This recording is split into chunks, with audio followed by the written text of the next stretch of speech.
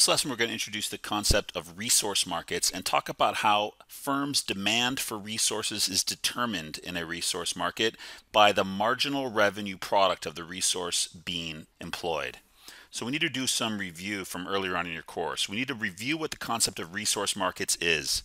You learned earlier on that there are two places where buyers and sellers interact with one another in a market economy. There are product markets, which you've probably already studied. This is where households demand goods and services from firms in exchange for money. There are also resource markets. Resource markets are where firms hire workers, capital, and land from households in exchange for money incomes. You probably learned what those money incomes are called. For labor, households receive wages. For land, households receive rent. And for their capital, the money we put in the bank, which is late, which is then passed on to firms in the form of loans, we earn interest. We're going to be focusing mostly on labor markets in the next few lessons, in which wages are determined by the demand for labor and the supply of labor by firms. So what's different between resource markets and product markets is the roles are reversed. Households are now the suppliers and firms are now the demanders. Firms demand resources in order to produce the goods and services that they then sell to households in the product market. So what determines a firm's demand for a resource? There are basically two things that can affect the demand for a resource by firms. One is the price of the good being produced. And the other is the productivity of the resource being employed. To illustrate this, we're going to look at the productivity table for an individual perfectly competitive bakery. You learned earlier on that a perfect competitor is what we call a price taker. Therefore, a perfectly competitive bakery can sell each loaf of bread that it produces for a market price of $5, as we can see in the table. What we're going to do is determine this individual baker's demand for labor by comparing the marginal product of labor, in other words, how much bread each additional worker that the bakery hires produces and multiplying that by the price the bakery can sell each loaf of bread for. First, let's calculate the marginal product of labor. Notice that in the left here we have the number of workers employed from 1 to 7 and the output produced in total by all the workers from 6 for the first worker up to 21 when 7 workers are employed. But what we want to know is what's the marginal product. You've probably learned earlier on in the course that marginal product is the change in total product or output divided by the change in the number of workers or the quantity of labor. Very simple calculation here. All we need to do is see how much total output changes for each additional worker hired. The first worker contributes six loaves of bread. As we see, as employment goes up to 2, the output increases to 11 for a marginal product of 5 because 11 minus 6 equals 5. Output then goes up to 15, giving the firm a marginal product of 4 for the third worker.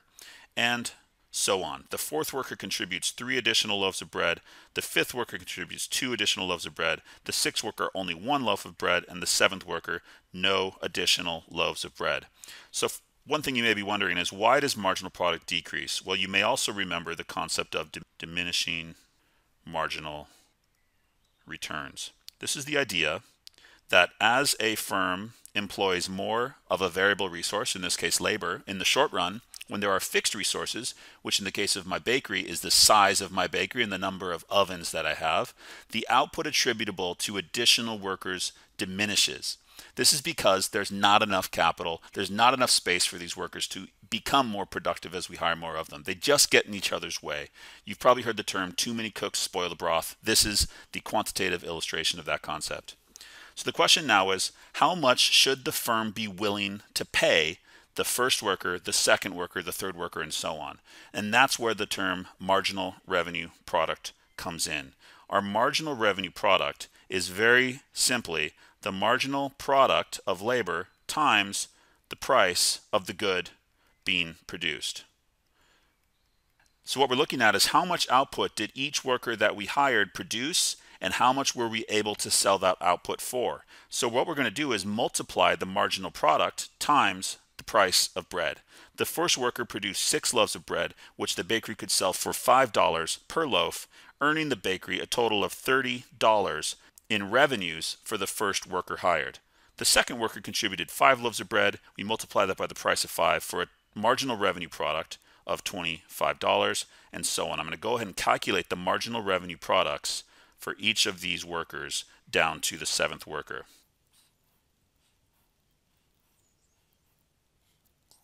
So what do we see here? We see that as the firm employs more workers, the revenue generated by each additional worker decreases. It's pretty easy to understand why. While the price of bread stays the same, the productivity of additional workers decreases, therefore the amount of revenue each additional worker can earn the firm falls. Let's just take some notes here. So as employment, as employment increases, the revenues generated by additional workers decreases. You should start to be seeing how this explains the demand for labor. Workers are less productive as we hire more of them. Therefore, firms are willing to pay less for each additional worker. Let's look down at our demand for labor graph for the individual bakeries demand for labor. I need to put some labels on this. On the horizontal axis, I'm going to be looking at the quantity of labor. In other words, the number of workers. On the vertical axis, I'll be looking at the marginal revenue product. In other words, the amount of revenue each worker that the firm hired contributed to the firm's total revenues. And we're going to also look at that as the wage rate because this is also going to tell us how much the firm would be willing to pay each of these workers. We're going to go from one worker to seven. So let's put the labels here. And we can see that the marginal revenue product peaked at $30 and it fell down to $0. So I'm going to put some values here. We'll go 3, 9, 12, 15, 18, 21, 24, 27, and 30. And all I need to do is plot the points from my table up here. At one worker, the marginal revenue product, the revenue that that worker contributed to the firm was $30. And at seven workers, the revenue contributed was $0. And since this is linear, all I need to do is plot those two points. So at one, the revenue was $30. Let's connect those points.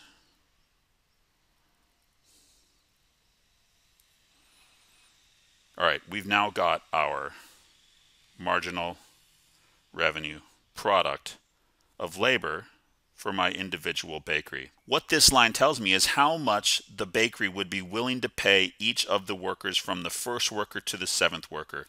Notice that when the marginal revenue product is high, the first worker, who contributed six loaves of bread, which could be sold for $5 each, earning the firm $30, the firm would be willing to pay that worker up to $30. But the second worker only contributed five loaves of bread, which were sold for $5 apiece, earning the baker only $25 in revenues.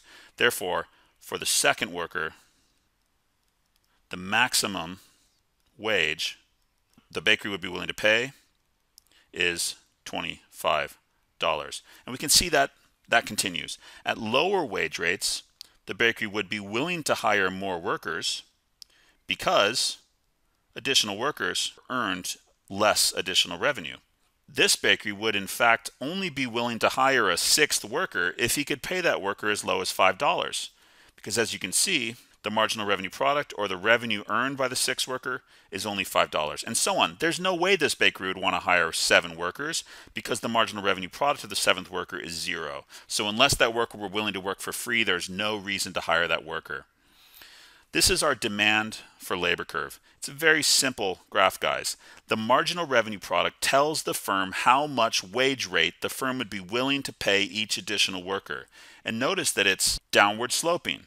So that means as wage rate falls, the quantity demanded of labor increases because marginal revenue product falls as employment increases.